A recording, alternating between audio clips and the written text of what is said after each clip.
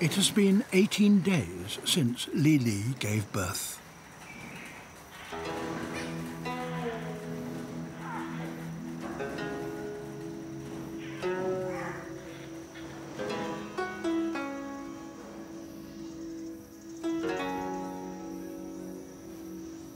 For her to produce twins is not unusual.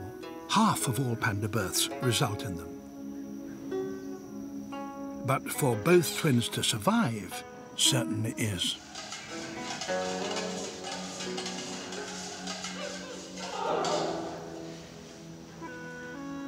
Pandas almost always abandon one cub.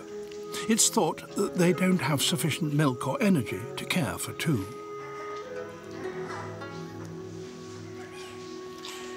But the team at Chengdu have hit upon a cunning plan.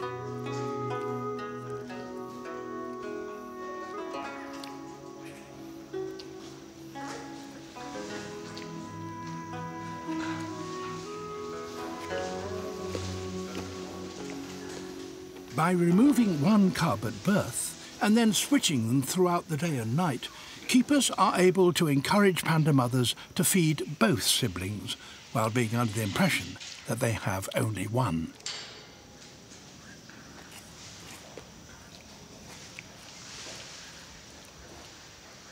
Li Li is distracted with a bowl of honey water, but is reluctant to give up her cub.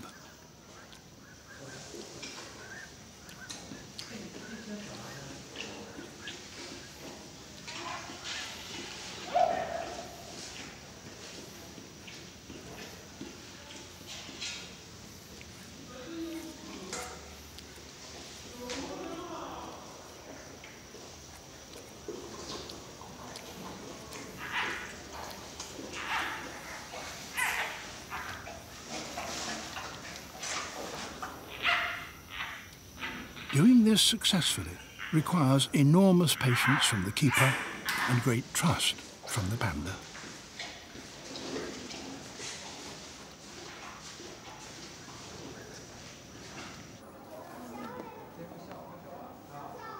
One twin is taken to the incubator where it will have a top-up of formula milk and switched with the other, which will now get his share of his mother's milk.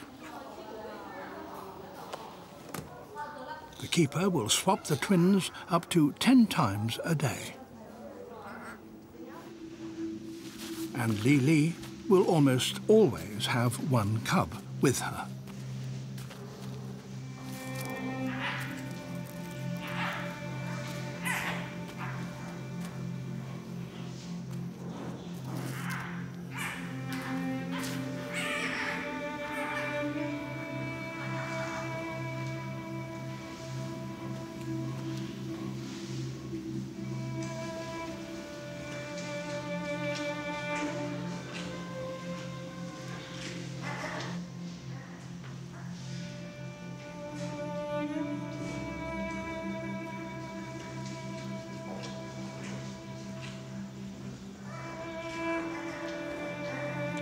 Chengdu's technique of twin swapping at last opens the way to a possible 100% survival rate in newborn captive cubs.